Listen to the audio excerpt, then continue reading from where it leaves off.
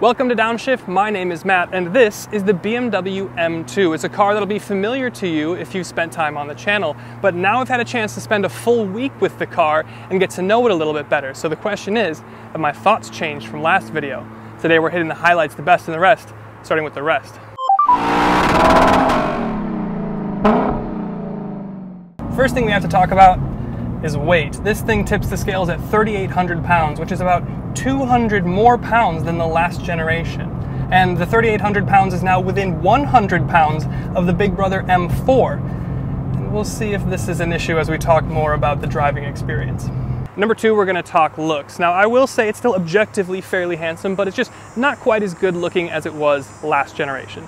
I'd still have it over the M3 and the M4, but I guess my favorite objectively good looking M cars are now the 8, the 5, and the 2 in that order. But again, still better than the 3 and the 4. And to be honest, this is the most proper spec that you can get. Zandvoort Blue is the best color. And the grille is an interesting shape and it's frameless. And your lower radiator is interestingly unprotected from rocks. And the upgraded LED running lights are a must. And up from there you have the classic M hood bulge. The profile itself is very classic BMW, Although this new M2 is now four inches longer than the E46 M3, one of the most iconic M cars of all time. And it's sitting on 19 inch wheels up front and 20s in the back. They're cast, not forged, but you have wildly aggressive fender flares front and rear. And of course you have your classic M wing mirror with the fang, and you can get a sunroof now. And in terms of the rear end design, you get kind of the headlight design but flipped upside down. You get a molded in lip spoiler and the classic quad tips. Overall, I think it looks good, and you too could look good with a new pair of sunglasses to match your car. Now I've teamed up with BMW Motorsport and BMW Eyewear who are sponsoring the channel for this video, so I can show you guys some of the awesome sunglasses you can get to match your car and display your status as a passionate member of the BMW enthusiast community. The styles themselves have a little something for everyone, like the cleaning classic blue lensed aviator with the white stock for the traditional E30 enthusiast like myself, to the more modern lightweight performance Wayfarer style for the X5M driver. And depending on what style you get, you'll get cool little details like M color matched lenses, an M tricolor soft pouch for carrying. And each one comes with a little envelope containing a holographic sticker proving the official authenticity. And the cool thing is you can get these at Kohl's as well. So when you buy the first pair, you'll earn Kohl's cash to then put towards your second, third, and fourth, and seventh pair.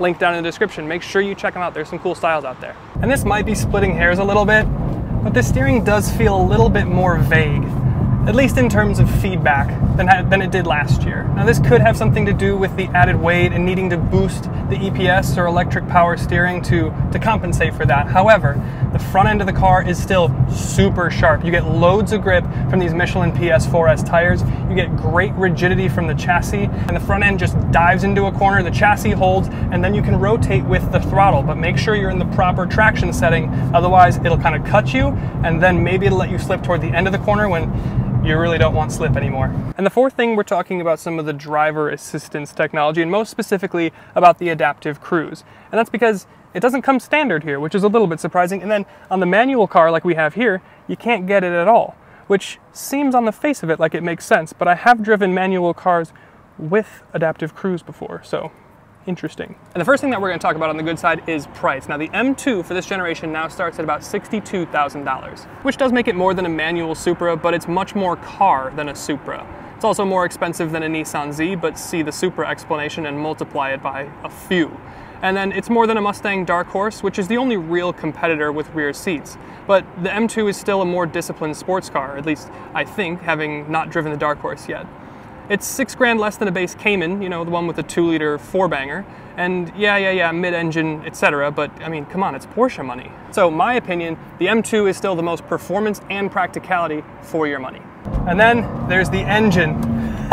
now, unlike the debut of the first M2, this one comes with the S motor right away. It's the S58, the same engine that we get in the M3 4 twins and the X3 4M twins. Uh, it's a little bit detuned for this M2, 453 horsepower, 406 pound-feet of torque, 0 to 60 in about 3.9 seconds. That's with the ZF, not this manual here.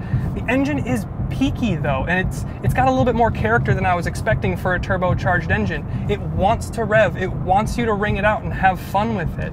You do feel like you have to work a little bit more for it, so it's a little bit more rewarding in that way. It's not just point and squirt The sound is okay, not amazing, but you do have some subtle cracks on the overrun. And if you care about this sort of thing, you get about 19 mpg combined.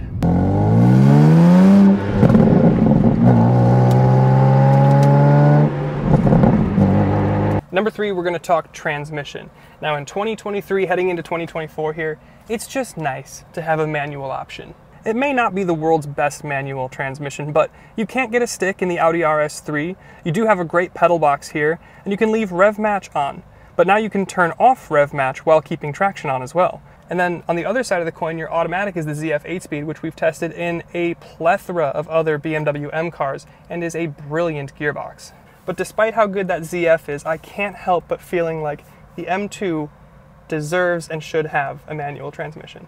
And then in terms of dynamics and balance, for this new M2, you get some stuff that you're pretty familiar with, like a punchy turbocharged straight six, power going through an LSD to just the rear wheels, and you have a plethora of different traction options to control more or less slip, depending on how loose you want to get.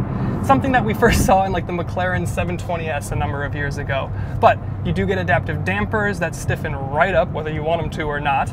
Uh, and then you get a brilliant equal weight distribution and a really, really tight chassis. So this thing is really ready to respond. It feels very neutral. You can with the back end, but you do get these really grippy Michelin PS4S tires. So the front end is really eager to dive in and the back end does, you can just feel that edge right there. So you can rotate with power. It steps out pretty organically, provided you're in the proper traction setting. But this is what BMW just does head and shoulders above everyone else, and it's powertrains and chassis. Ultimately, it is a brilliant dance partner. It is more predictable than it was last year, but don't think for a second it won't let its hair down with you on a country road. And then in terms of the interior details, this is an M car with an M engine, and they are not gonna let you forget it in here. You've got M tricolor everywhere on your steering wheel stitching, on your seat belts, on your shift boot, on your door card, which is super cool and lights up by the way, and on the seats themselves, which also light up. And of course you can get the carbon buckets, and to me I'd probably skip that, but still. And then in terms of accenting, you can also choose to get your interior almost entirely made of carbon fiber which is more than I can say for the carbon fiber pack of something like the Audi R8 GT, which I only mentioned because we filmed the other day, but I will say that I'd skip the carbon buckets. They're super expensive and the normal seats here are more comfy for me. But I do think the combination of all the little M tricolor spicy bits here, the cool door card that lights up, and the whole steering wheel and dash rimmed with carbon fiber just makes it feel really special here in this M2. It does not feel like the cheapest M car. And then it wouldn't be a modern BMW without a bunch of tech stuff, right? This M2 is the latest to get the new iDrive 8 system, which means you get a massive instrument cluster and center infotainment screen. You've got things like wireless Apple CarPlay, Android Auto, you've got a lap timer, you've got a drift analyzer, which is hilarious, and you have telemetry data. You don't have 360 cameras and you don't have the reverse assist feature, but I'm not really expecting that at this price point or with the manual. And yes, your climate controls are in the screen now, but the menu is always on screen, so it's just a touch away, and you get used to it in about a day. Plus, you've got a bunch of native apps that you can customize the home screen with, basically just like your phone. I've said it before and I'll say it again. Overall, I really like iDrive 8. The graphics are great, the refresh rate is great, it's super responsive, it's loads of customizability features built into the infotainment as well as the head-up display and the cluster. What's not to love? And the last thing that we'll talk about is practicality and usability. Now be sure to check out our Instagram because it's summer here in Wisconsin and that means lake weekends. So we're putting this car to the test. Can the M2 take up me, my wife, our two dogs, and all of our stuff up to the lake for the weekend? Make sure you check it out. Spoiler alert, it did. And after we unloaded it, it was a riot to rip around those farm roads. But anyway, the rear seats are some of the biggest in this segment. They're not huge, but I do have legroom at 6'1", depending on where the driver sits. Headroom is cramped, but what did you expect? And it's the trunk that's brilliant. It's a mildly smaller opening, but it's a huge space in there. Well, huge, relatively speaking. And there's a center pass-through, and you can fold the rear seats from the trunk, which is something you can't even do in some Mercedes SUVs. And with that, it's really kind of hard to argue against this M2 anywhere which seems like a good time for the final thoughts. So that's the best and the rest of the BMW M2. It is a fun and frisky little sports car with a refreshing amount of daily practicality. I do genuinely think that this is probably the best bang for your buck if you're looking for an everyday sports car. So thank you again to BMW. Thank you again to BMW eyewear. Make sure you check your link in the description and we'll see you on our lake test on Instagram for the weekend practicality. We'll see you then.